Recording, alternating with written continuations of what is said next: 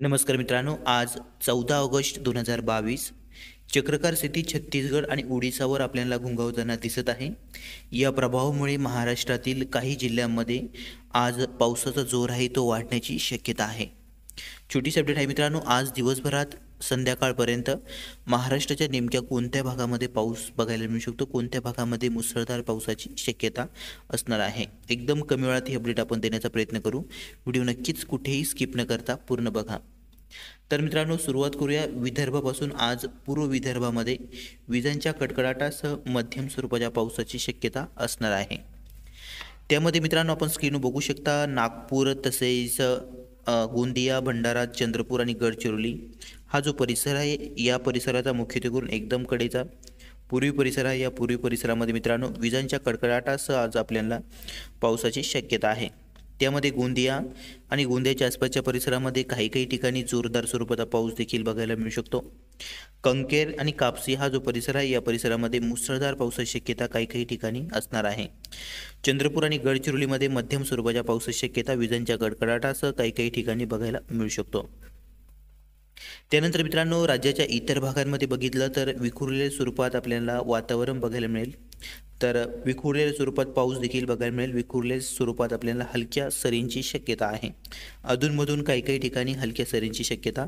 महाराष्ट्राच्या इतर भागामध्ये आहे. एकदम जो काही मधला भाग आहे त्यामध्ये जळगाव नंदुरबार धुळे अहमदनगर तसेच मराठवाड्यातील संपूर्ण जिल्हे पुणे विभागातील सांगली सातारा कोल्हापूर सोलापूर या जिल्ह्यांचा मुख्यत्वे करून पूर्वी परिसर.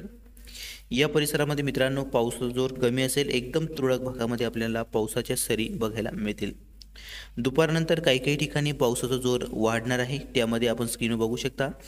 उत्तर महाराष्ट्र तसेच मराठवाड्यात काही काही ठिकाणी मध्यम सरीची शक्यता आहे. नागपूर विभागामध्ये दुपारनंतर संध्याकाळपर्यंत पाऊस जोर वाढणार आहे. त्यामध्ये नागपूर वर्धा गोंदिया भंडारा चंद्रपूर गडचिरोली सर्व जिल्ह्यामध्ये मित्रांनो मध्यम तर तुरळक भागामध्ये जोरदार पावसाची शक्यता. अमरावती विभागामध्ये अमरावती अकोला बुलढाणा वाशिम आणि यवतमाळ या परिसरामध्ये दुपारनंतर अधूनमधून हलक्या ते मध्यम सरीची शक्यता आहे. मराठवाड्यात मुख्यत्वे करून पूर्व म मराठवाडा त्यामध्ये जालना परभणी हिंगोली नांदेड हे जे चार जिल्हे आहे या जिल्ह्यामध्ये हलक्या मध्यम सरीची शक्यता आहे. इतरत्र सुद्धा पावसाच्या सरी बघायला मिळतील. परंतु या परिसरापेक्षा इतर भागामध्ये कमी प्रमाणात असतील. तर अशी होती मित्रांनो आजची अपडेट. कोकण विभागामध्ये बघितलं तर कोकण विभागामध्ये सुद्धा आज पावसाचा जोर राहणार आहे. हलका मध्यम स्वरूपाचा पाऊस आपल्याला कोकण विभागामध्ये आज बघायला मिळणार आहे.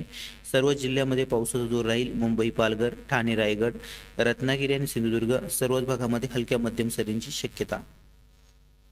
हा पाऊस मित्रांनो विदर्भातच महाराष्ट्रातच नाही तर महाराष्ट्राचे जे काही आसपासचे जिल्हे आहे जसं की छत्तीसगड ओडिसा त्याचबरोबर मध्य प्रदेश तसेच इकडं आंध्र प्रदेश कर्नाटकच्या काही परिसरामध्ये सुद्धा मित्रांनो हा पाऊस बघायला मिळणार आहे.